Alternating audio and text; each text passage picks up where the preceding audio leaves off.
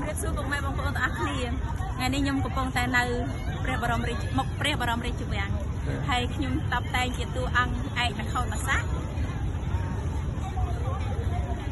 មិនដែរបងប្អូនតើបងប្អូនពេញចិត្តដែរអត់នៅពេលដែលមានកម្មវិធីធំធំហើយខ្ញុំបាន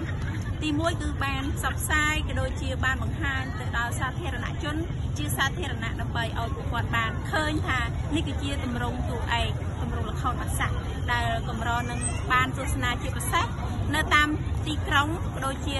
ក្មេងៗសកលក្រោយពួកគាត់អត់ដែលបានជួបនៅតួអង្គនៅក្នុងទម្រង់ល្ខោនបាសាក់នៅទីសាធារណៈអញ្ចឹងទេអញ្ចឹងក្នុងនាមខ្ញុំជាសិល្បៈករល្ខោនបាសាក់មួយរូបខ្ញុំតែងតែចង់ផ្សព្វផ្សាយដើម្បីឲ្យប្រជាពលរដ្ឋយើងក៏ដូចជាសង្គមយើងទទួលស្គាល់នៅទម្រង់សិល្បៈមួយនេះឲ្យកាន់តែ